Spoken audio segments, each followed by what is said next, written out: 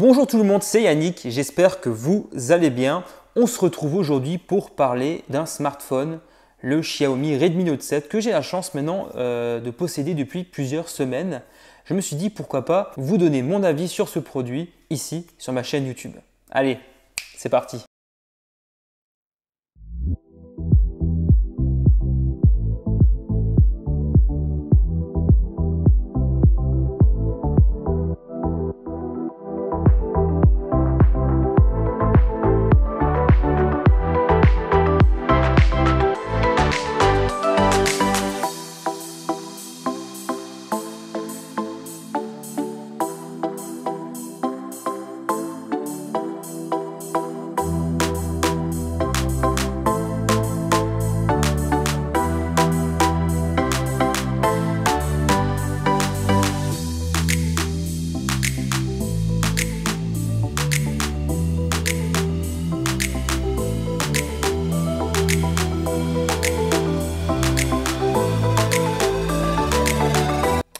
avant de vous parler de mes impressions sur ce produit, parlons d'abord un petit peu de la fiche technique du Redmi Note 7. Alors le smartphone est équipé d'un écran de 6,3 pouces LCD de définition Full HD+, 2340 par 1080 pixels.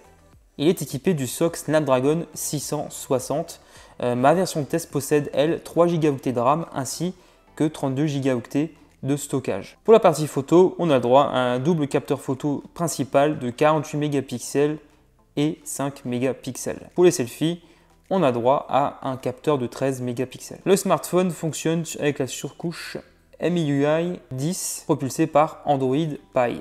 L'autonomie de ce smartphone promet d'être confortable grâce à une batterie de 4000 mAh. Je vous mets bien sûr toute la fiche technique dans la description de la vidéo si vous souhaitez en apprendre davantage sur ce smartphone. Alors côté design, qu'est-ce que ça donne? Alors on a un beau rectangle noir au coin arrondi. On a quand même le droit à des matériaux relativement premium, de l'aluminium et du verre au dos. On apprécie ici l'encoche goutte d'eau, donc qui est vraiment réduite au maximum.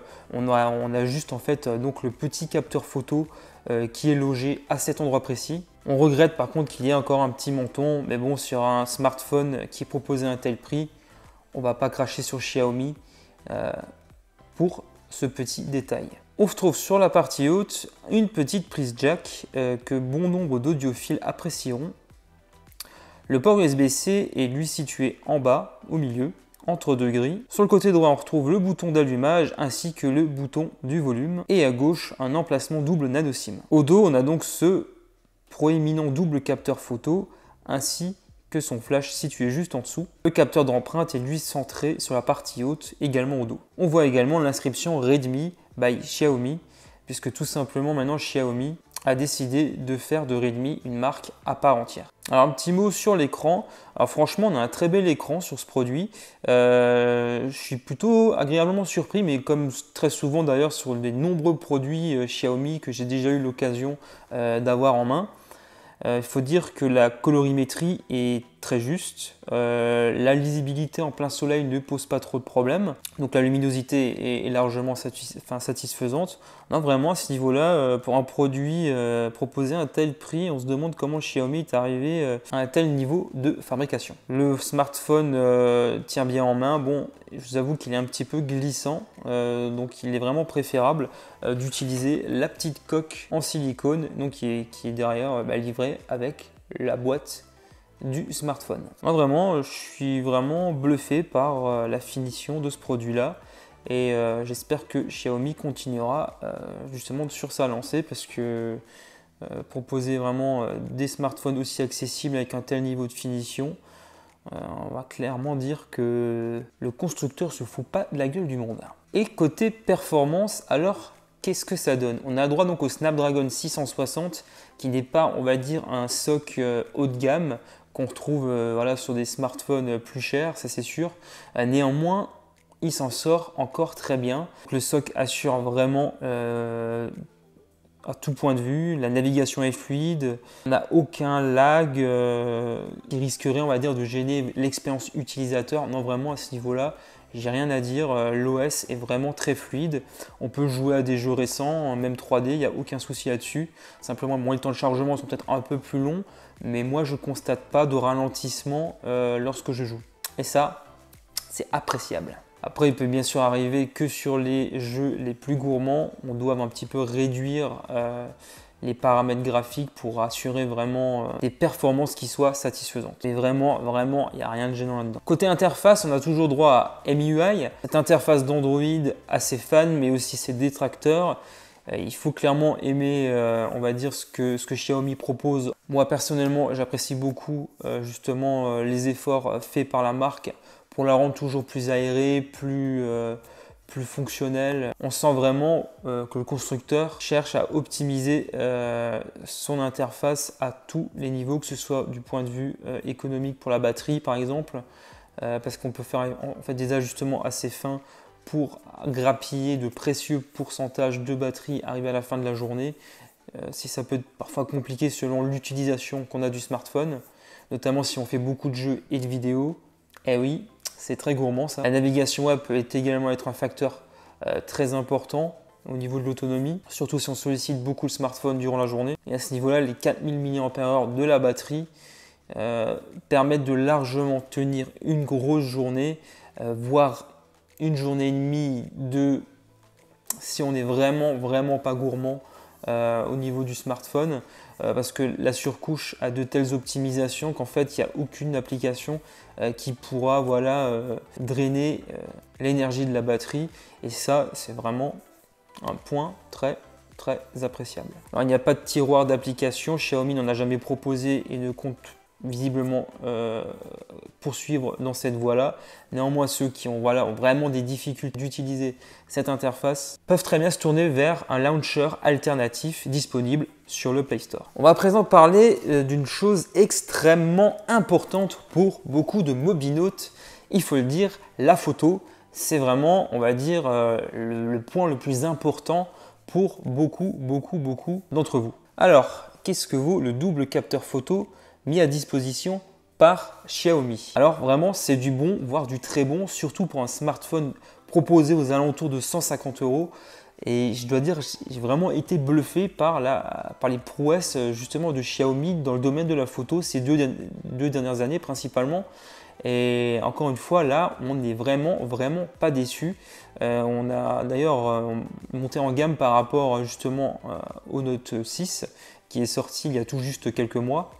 Et je dois, reconnaître que là, euh, Xiaomi euh, met les petits plats dans les grands. Le Redmi Note 7 embarque donc un double capteur photo à l'arrière de 48 plus 5 mégapixels. On peut régler euh, finement divers réglages et paramètres pour parvenir à obtenir les meilleures photos possibles. Mais ce que l'on aime surtout faire, eh ben, c'est justement de ne rien faire. Et oui, c'est-à-dire que Xiaomi a intégré en fait une intelligence artificielle qui permet de reconnaître donc de nombreuses scènes. Euh, par exemple, euh, il va automatiquement reconnaître euh, la nourriture au moment où on souhaite la prendre en photo et donc optimiser les divers réglages de l'appareil photo pour avoir le meilleur cliché possible. Donc ça peut être par exemple des couleurs plus vives, plus d'éclairage, etc., etc. Euh, vraiment, à ce niveau-là, euh, Xiaomi a également beaucoup travaillé cet aspect-là, euh, qui était euh, limite anecdotique quand ils ont commencé à y sortir sur le Redmi Note 5, il me semble. là, sur les dernières versions, je trouve en tout cas, moi personnellement, que c'est beaucoup plus optimisé, ça fonctionne beaucoup mieux. Il faut dire que voilà, de nombreux constructeurs maintenant s'y sont mis. il n'est pas étonnant de voir Xiaomi suivre les, traces, euh, par exemple, de Samsung ou encore de Huawei à ce niveau-là. Si euh, il y a quand même peut-être un petit point négatif sur l'appareil photo, euh, notamment pour les photos que l'on prend en basse luminosité. là, ça peut être assez aléatoire. C'est un point faible pour beaucoup de smartphones, même si certains constructeurs sont vraiment arrivés sur les flagships euh, à vraiment pouvoir avoir des, clichés de très bonne qualité, euh, même dans la pénombre. Euh, là, il faut dire que ça reste quand même encore le talon d'Achille de Xiaomi, en tout cas sur ce Redmi Note 7. Rien de très grave, rassurez-vous. Néanmoins, ne vous attendez pas à des photos de haute qualité dans ce genre de situation. Enfin, concernant les selfies, là, la qualité est plutôt moyenne, je dirais. Hum, après, bon, pour un smartphone milieu de gamme, il n'y a rien d'alarmant euh, à ce niveau-là. On sent en tout cas que les effets lissés sont très marqués sur, les photos.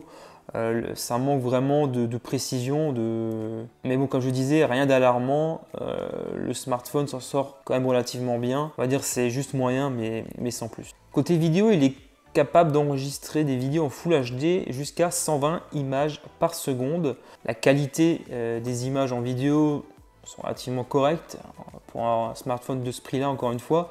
Euh, on a également une stabilisation vidéo numérique qui se montre euh, assez convaincante. encore une fois, le gros point faible sera de nouveau la basse luminosité parce que là, on va avoir beaucoup de grains qui, qui apparaît très rapidement. Et au niveau de la captation du son, c'est vraiment pas non plus euh, le point fort de ce smartphone parce que les sujets à proximité qui se mettent à, crier peuvent se montrer très gênants et donc euh, gâcher, on va dire, l'expérience euh, vidéo. Mais encore une fois, pour un smartphone qui tourne aux alentours de 150 euros, euh, c'est vraiment rien d'alarmant, c'est tout à fait normal. Alors au final, qu'est-ce que je retiens de ce smartphone? Déjà, il a un design euh, très élégant. L'écran est vraiment top. On a de très bonnes performances pour un smartphone de cette gamme. On a une excellente autonomie et la recharge rapide via l'USB-C. Et un appareil photo loin d'être mauvais. Enfin, euh, quand je parler en fait des points noirs, euh, ce que je retiens, c'est que la des vidéos et photos est vraiment mauvaise dans les situations euh, de basse luminosité. Euh, mais sinon, il n'y a pas de vrais points noirs par rapport à ce smartphone. il est pour, pour rappel proposé aux alentours des 150 à 200 euros selon la version que vous choisirez. Et c'est vraiment un très très bon rapport qualité-prix. je suis vraiment étonné que Xiaomi arrive à un tel niveau pour euh, un smartphone proposé à un tel tarif. On peut foncer vraiment les yeux baissés. Euh, en tout cas, les personnes qui cherchent un smartphone à prix abordable peuvent se tourner euh, vraiment vers cet appareil qui est, pour ma part en tout cas, un très bon produit. Voilà, j'arrive maintenant à présent à la fin de cette vidéo. Euh, j'espère qu'elle vous a plu. Euh, n'hésitez pas à me dire dans les commentaires euh, ce que vous pensez de ce Redmi Note 7, d'ailleurs ce que vous le possédez. Si c'est le cas, n'hésitez pas à me faire d'ailleurs votre propre retour d'expérience, ce que vous aimez, ce que vous n'aimez pas sur ce smartphone. N'hésitez pas à mettre un pouce en l'air et à vous abonner à ma chaîne YouTube pour ne pas rater mes prochaines vidéos. Pour ma part, je vous retrouve dans une prochaine vidéo. D'ici là, portez-vous bien. Allez, ciao tout le monde